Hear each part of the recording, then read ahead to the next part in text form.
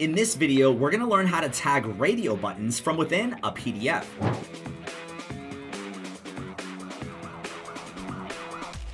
Welcome to the Accessibility Guy channel. My name is Sean Jordison, and let's step into the ring. All right, let's see what we can do to add some radio buttons. I'm gonna select the prepare a form option, and we've got auto detect on. That's fine, I really just need to get into my windows here. And we're going to apply um, our radio buttons. So we've got group one, choice one, choice two, and choice three. We're then going to close those options. Let's go into the tags panel. And in here we have our P tag uh, with our form fields a little out of whack, but that's okay. We're first going to move our form one option down to option one, our next option down one, and then our next one down yet again. And so we have, let's just um, make sure that they work. So right now I can click through them. That's amazing.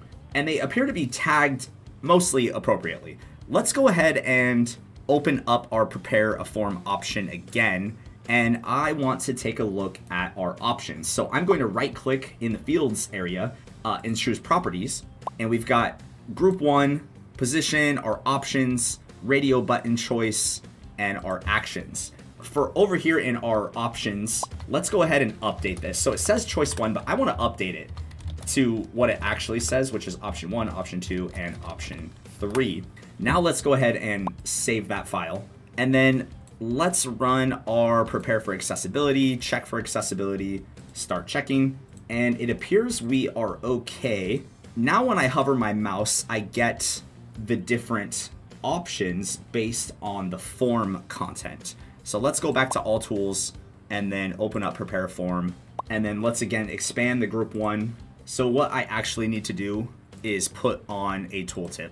So we're gonna right click it, choose properties, and the tooltip is going to be question one, and then select close. So now when I am hovering over the different options, we're gonna have question one, option two, question one, option three, and so on.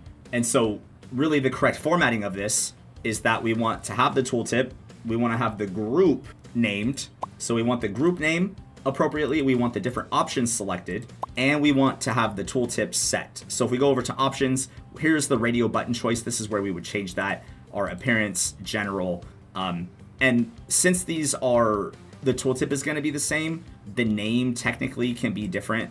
See, the name on all of these is actually the same. Um, but that's okay because with the radio buttons, it doesn't quite behave the same way. So with that said, now if I were to save this file, it should give me a passing PAC report in terms of the form fields, that is. All right, yes, yeah, so we got rid of that alternate descriptions. So to summarize, each one of the radio buttons should be in its own parent tag. Every one of the radio buttons will have the same tooltip, and really the options that you want to set are on the individual radio buttons from the prepare a form option. So if we right click option one, select properties, under the options button is where you want to update the radio button choice.